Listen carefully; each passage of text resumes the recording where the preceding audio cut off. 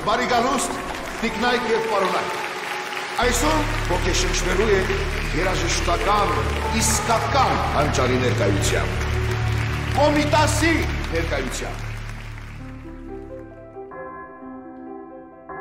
Շատ տարիներ առաջ, երբ դուք դեռ ծնված էլ չէիք, աշխարհի կենտրոնում հայերն ու թուրքերը ապրում էին համերաշխ կյանքով։ Կող կողքի։ Որտեղից գիտես այդ մեղեդին։ Ես թրքուհի եմ, բայց իմ ամենամտերիմ ընկերուհին Սոնան հայուհի էր։ Հետո հայտնվեց Սողոմոնը։ Աստվածային ձայն ունի այս տղան։ Մեր երկիչ որ փուկն է։ Գնանք ինձ հետ տղաս։ Դուր ձեռքդ։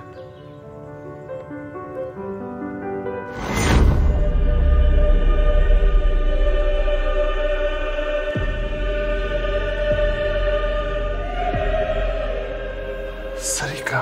Խնդրեմ։ Խնդրում եմ, խնդրում եմ, խղճաց։ Վարալերս գնա։ Չեմ կարող։ Նա մեզ կմատնի, կզեկուցի, որ տանը հայ ենք թաքցնում, բոլորիս կսպանե։ Գրում եմ վախը սրտումս։ Ամբողջ կայսրության տարածքում ակա հայկական ապստամբություններ են, որոնք հասել են նաև քութին։